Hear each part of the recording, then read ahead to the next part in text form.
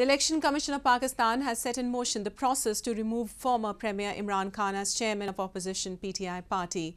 The development comes after the poll body in October had disqualified Khan as the member of the National Assembly in Toshakhana reference case for a false statement and incorrect declaration.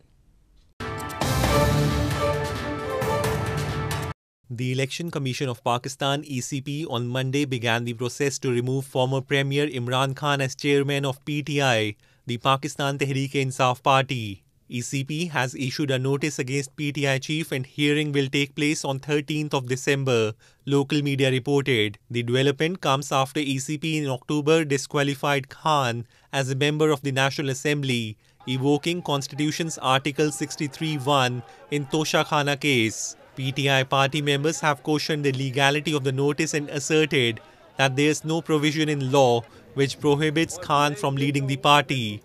The reference by PTI members was made to Election Act 2017, which did not retain the provision of disqualification as party's office bearer present in Political Parties Order 2002.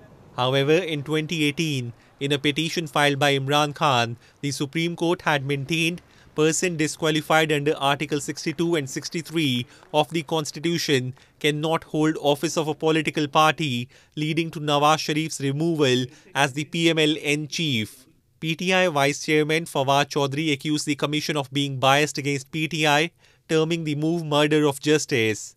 This comes as Imran Khan has been demanding fresh elections by March and has warned if the government fails to adhere, PTI will proceed with dissolution of assemblies in Khyber Pakhtunkhwa and Punjab, taking 66% of Pakistan to polls.